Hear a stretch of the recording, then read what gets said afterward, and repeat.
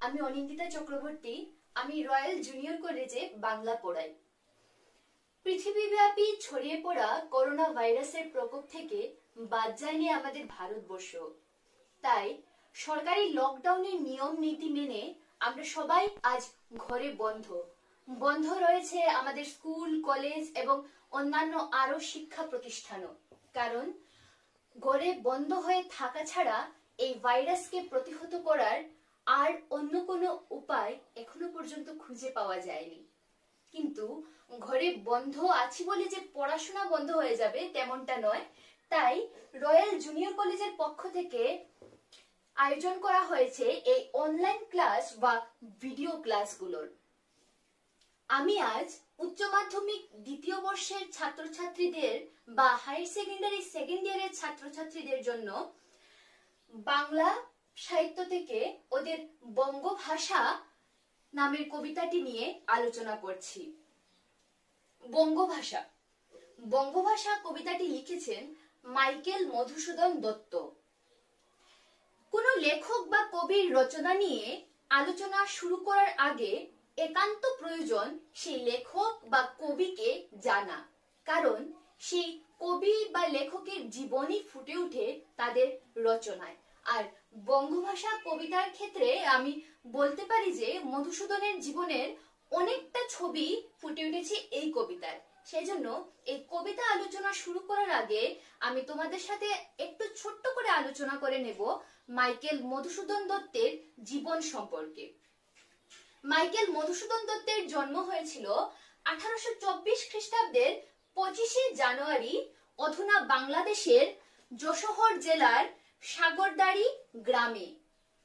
উনার পিতার নাম ছিল রাজনারায়ণ দত্ত এবং মাতার নাম জাহ্নবী দেবী। আমি সব কথাগুলো এই বোর্ডে লিখিনি কারণ এই সব জিনিস তোমাদের বইয়ে দেওয়া আছে। তোমরা ঘরে কবিতাটা পড়া শুরু করার আগে, কবিতার আগে যেগুলো কবির বিষয়ে বা কবিতার বিষয়ে যে কথাগুলো লেখা আছে, সেগুলো তোমরা ভালোভাবে পড়বে। আচ্ছা তো আমরা জানলাম মধুসূদনের জন্ম হয়েছিল আঠারোশো চব্বিশ খ্রিস্টাব্দের পঁচিশে জানুয়ারি। উনার পিতামাতার নামও আমরা জানলাম। মধুসূদনের প্রাথমিক শিক্ষা যে শুরু হয়েছিল উনার মায়ের কাছে। বিভিন্ন গৃহ শিক্ষক রেখেও উনার পড়াশোনা চলেছিল। মায়ের কাছে উনি পুরাণ, ভাগবত, রামায়ণ এসবের শিক্ষা লাভ করেছিলেন। যেমন আরও পাঁচটা বাঙালি সন্তান তাদের মায়ের কাছে লাভ করে থাকে। কিন্তু মধুসূদন দত্ত সাত বছর বয়সে পাড়ি দেন কলকাতায় এবং সেখানে শুরু হয় উনার প্রথাগত শিক্ষা বা বলা যায় ইংরেজি শিক্ষা। মধুসূদন দত্তের ছোটবেলা থেকেই প্রচণ্ড ভাবে ইংরেজি সাহিত্যের প্রতি অনুরাগ ছিল। অনুরাগ বা বলা যায় ইংরেজি সাহিত্য, ইংরেজি আচার, বিচার, সংস্কৃতি সবকিছুর প্রতি ছিল অনেকটা তার অন্ধ ভালোবাসা। মধুসূদন দত্ত প্রচণ্ড মেধাবী ছিলেন। তিনি পড়াশোনায় অত্যন্ত পারদর্শী ছিলেন, কিন্তু এছাড়াও জানা যায় যে উনার মধ্যে কিছু দোষও ছিল, যেমন মধুসূদন দত্ত প্রচণ্ড আত্মদম্ভী ছিলেন মানে উনার মধ্যে ছিল প্রচণ্ড অহংকার। তাছাড়াও উনি ছিলেন প্রচণ্ড অমিতব্যয়ী। টাকা পয়সা খরচ করতে উনি কোনোদিন হিসেব করেননি, সেজন্য শেষ বয়সে বা শুধু শেষ বয়সে কেন জীবনের সব সময় উনাকে প্রচণ্ড আর্থিক কষ্টের মধ্যে দিকে যেতে হয়েছে এবং উনার মৃত্যুটাও হয়েছিল শেষ পর্যন্ত সেই আর্থিক কষ্টের মাধ্যমে।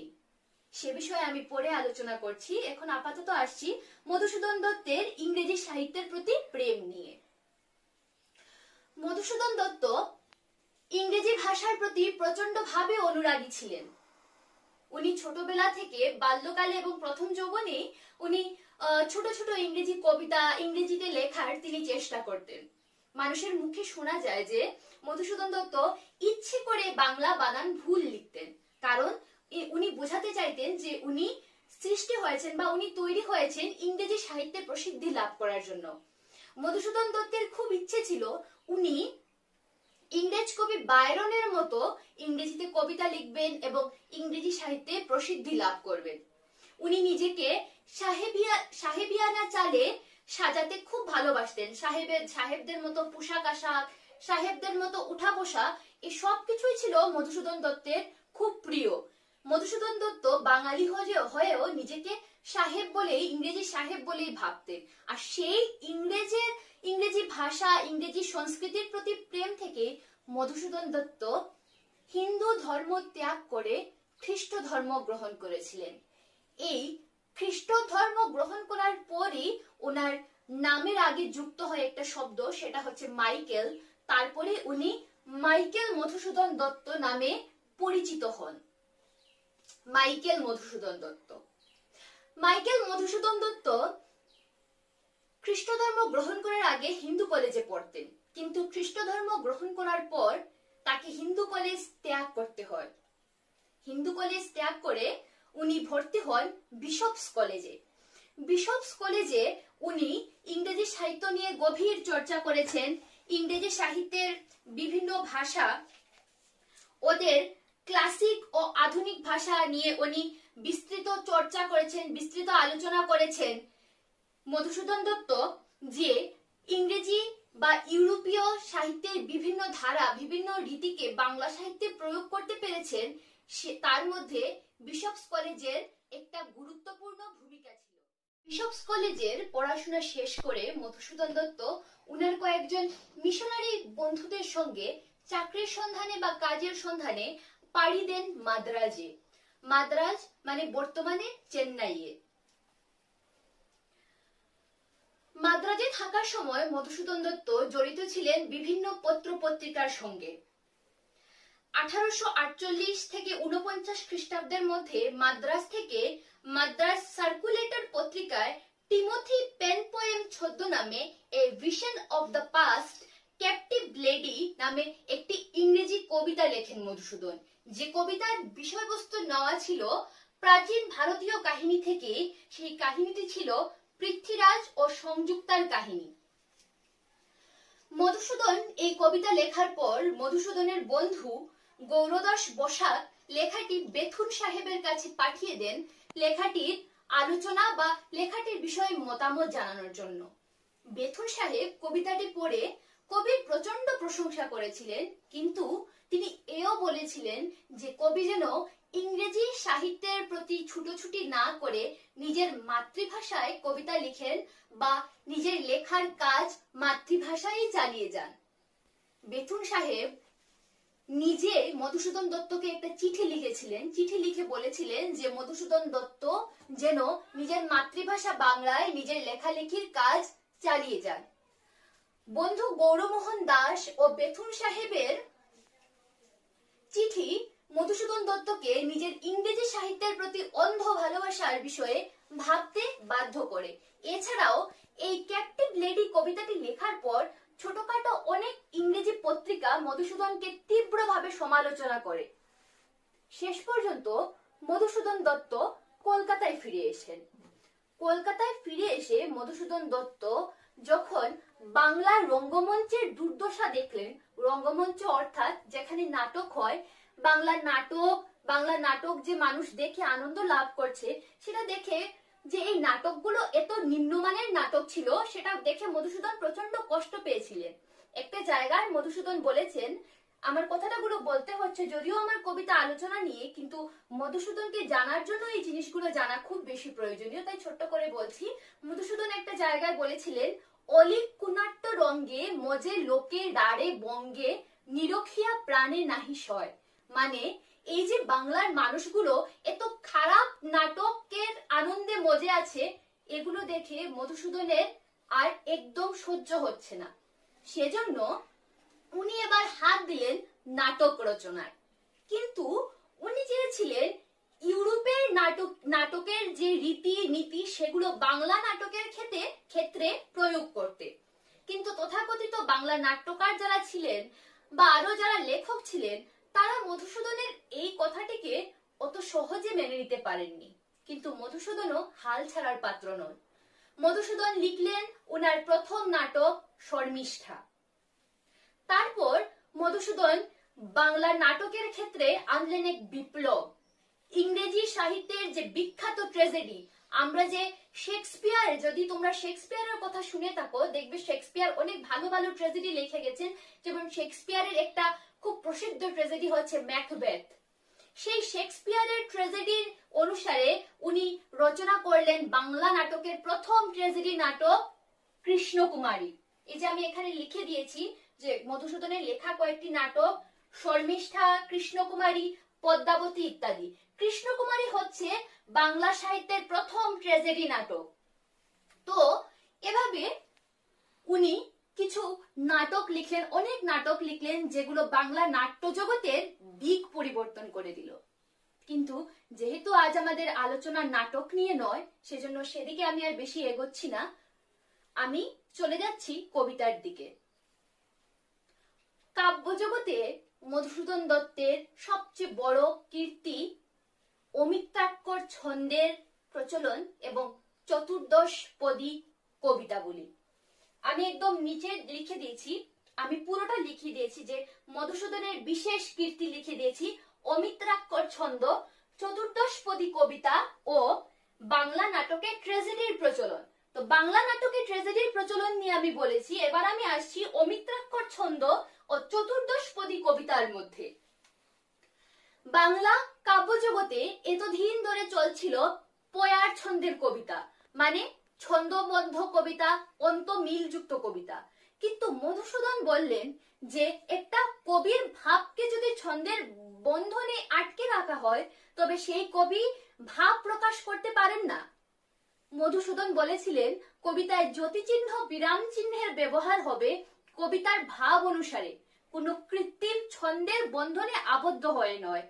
সেই ভাব থেকেই মধুসূদন দত্ত সৃষ্টি করলেন বাংলা কাব্যজগতে বিপ্লব আনলেন, আধুনিক যুগের সূচনা করলেন উনার অমিত্রাক্ষর ছন্দের মাধ্যমে।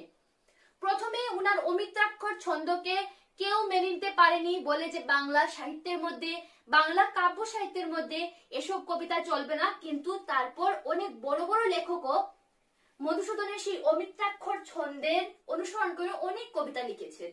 এর মধ্যে রবীন্দ্রনাথ ঠাকুরও একজন। রবীন্দ্রনাথ ঠাকুরেরও অনেক কবিতা লেখা আছে অমিত্রাক্ষর ছন্দে। কিন্তু সেই বাংলা কাব্য জগতে সেই যুগান্তকারী অমিত্রাক্ষর ছন্দের প্রচলন ঘটিয়েছিলেন কে? প্রচলন ঘটিয়েছিলেন মাইকেল মধুসূদন দত্ত। মাইকেল মধুসূদন দত্ত অমিত্রাক্ষর ছন্দে এক কালজয়ী কাব্য লিখেছেন, যার নাম হয়তো তোমরা শুনেছ যে মেঘনাথ বোধ কাব্য। মাইকেল মধুসূদন দত্ত এই মেঘনাথ বোধ কাব্যের মাধ্যমে বাঙালির রামায়ণ নিয়ে প্রচলিত থাকা বছর বছর পুরনো যে ধারণা আছে, সেই ধারণাটাকে পুরো পাল্টে দিয়ে, পাল্টে দিয়েছিলেন। মধুসূদন দত্তের সর্বপ্রথম অমিত্রাক্ষর ছন্দের উপর লেখা কবিতা হচ্ছে, তিলোত্তমা সম্ভব কাব্য। মধুসূদন দত্ত সর্বপ্রথম তিলোত্তমা সম্ভব কাব্য লিখেছিলেন অমিত্রাক্ষর ছন্দে। তারপর তারপর তিনি আরও অনেক কবিতা লিখেছিলেন, যেমন মেঘনাথ বোধ কাব্য, ব্রজাঙ্গনা কাব্য ইত্যাদি। মধুসূদন দত্ত অমিত্রাক্ষর ছন্দের প্রচলন করলেন যে ছন্দ বাংলা কাব্যজগতে নিয়ে এলো আধুনিকতার ছোঁয়া। আমি চতুর্দশ চতুর্দশপদী কবিতা বলিতে দিকে যাওয়ার আগে আমি একটু বলে রাখছি যে মধুসূদন দত্ত শুধু কবিতা এবং নাটক লিখেননি, মধুসূদন দত্ত লিখেছিলেন প্রহসন। প্রহসন, যে প্রহসনের মাধ্যমে মধুসূদন দত্ত যে বাঙালি যে বর্তমান প্রচলিত আধুনিক সমাজকে বা বিভিন্ন রীতিনীতিকে প্রচণ্ড ভাবে ঠাট্টা করেছিলেন, ওনার প্রসিদ্ধ দুটি প্রহসনের নাম হচ্ছে একেই কি বলে সভ্যতা এবং বুড়ো শালিকের ঘাড়ে রো এই দুটো হচ্ছে মধুসূদন দত্তের লেখা দুটি প্রসিদ্ধ প্রহসন। আমি ছোট্ট করে এখানে প্রহসনের কথা বলে নিলাম, কারণ যখন আমরা চতুর্দশপদী কবিতা বলিতে চলে যাব, তখন আমাদের আলোচনাটা একটু শেষের দিকে চলে আসবে, তাই আমি বলে রাখলাম। এবার আসি চতুর্দশপদী মধুসূদন দত্ত আঠারোশো বাষট্টি খ্রিস্টাব্দে ব্যারিস্টার হওয়ার জন্য পাড়ি দিয়েছিলেন বিলেতে। বিলেতে বলতে উনি গিয়েছিলেন ফ্রান্সে। এই বিলেতে যাওয়ার আগে উনি শর্মিষ্ঠা, একেই কি বলে, সভ্যতা বুড়ো শালিকের ঘাড়ে রো, পদ্মাবতী নাটক, কৃষ্ণকুমারী নাটক ইত্যাদি সব, সবকিছু লিখে ফেলেছিলেন। সেজন্যই আমি সেই বিলেতে যাওয়ার ঘটনার আগে তোমাদের সঙ্গে সেই কথাগুলো নিয়ে আলোচনা করেছি। আর সেই বিলেতে গিয়ে এই সূত্রপাত হয়েছিল মধুসূদনের চতুর্দশপদী কবিতাবলীর যাত্রা। মধুসূদন দত্ত বিলেতে গিয়েছিলেন আঠারোশো বাষট্টি সালে ব্যারিস্টারি পড়ার জন্য।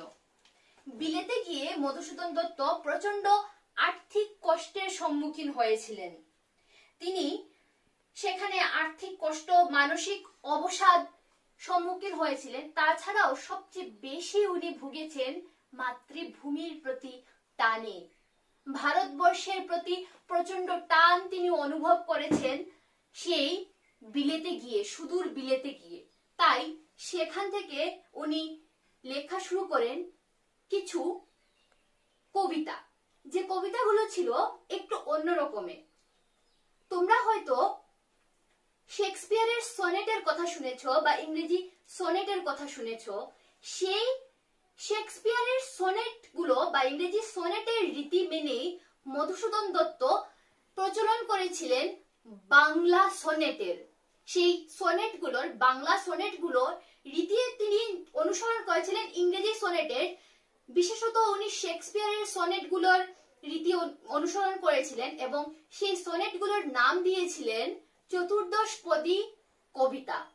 চতুর্দশপদী কবিতা নাম দেওয়ার কারণ হচ্ছে, এই কবিতাগুলোতে চোদ্দটি পংক্তি ছিল। এই চতুর্দশপদী কবিতা বা বাংলা সনেট ছিল বাংলা সাহিত্যের এক, বাংলা কাব্য সাহিত্যের এক যুগ পরিবর্তনের ফলক। এই চতুর্দশপদী কবিতা রচনার মাধ্যমে উনি বাংলা কাব্য সাহিত্যে যেন আরেক নূতন যুগের সূত্রপাত করলেন। ইংরেজি সাহিত্যের সনেটকে উনি নিজের মতো করে তৈরি করে সৃষ্টি করলেন বাংলা সনেটের। মধুসূদন দত্ত যে বাংলা সনেটগুলো লিখেছিলেন, সেই সনেটগুলোতে কিন্তু বিলেতের কোনো ঘটনা, কোনো সাহেব মেমের জীবন কাহিনী সেগুলো স্থান পায়নি। সেই সনেটগুলোতে স্থান পেয়েছিল বাংলাদেশের কথা, উনার বাল্যকালের কথা, উনার জন্মভূমির প্রতি যে ভালোবাসা তার কথা নিজের প্রথম জীবনে যে ইংরেজি সাহিত্যের পেছনে ছুটতে ছুটতে যে উনি বঙ্গরত্ন বা বঙ্গ ভাষার প্রতি যে অবহেলা করেছেন, সেই জীবন যন্ত্রণাগুলোর কথাই ফুটে উঠেছে চতুর্দশপদী কবিতাগুলোতে। চতুর্দশপদী কবিতা যে প্রকাশ পায় মধুসূদনের শেষ কাব্য চতুর্দশপদী কবিতাবলী। চতুর্দশপদী কবিতাগুলি, চতুর্দশপদী কবিতাবলী প্রকাশ পায় আঠারোশো সালে। দেখো, তোমাদের বইয়েই দেওয়া আছে, আমি বই থেকে পড়ছি। কবি মাইকেল মধুসূদন যখন ফরাসি দেশের ভার্সাই নগরে ছিলেন, তখন তার সহপাঠী বন্ধু রাজনারায়ণ বসুর কাছে একটি পত্রে মাতৃভাষা নামে একটি সনেট রচনা করে পাঠান। এইটি পরে সংশোধিত কারে বঙ্গভাষা নামে তার চতুর্দশপদী কবিতাবলী গ্রন্থে স্থান পেয়েছিল। তো এখানে তোমরা জানতে পারলে যে, এই যে তোমাদের পাঠ্য বঙ্গভাষা কবিতা যা নিয়ে আমরা আলোচনা করব, তা কি?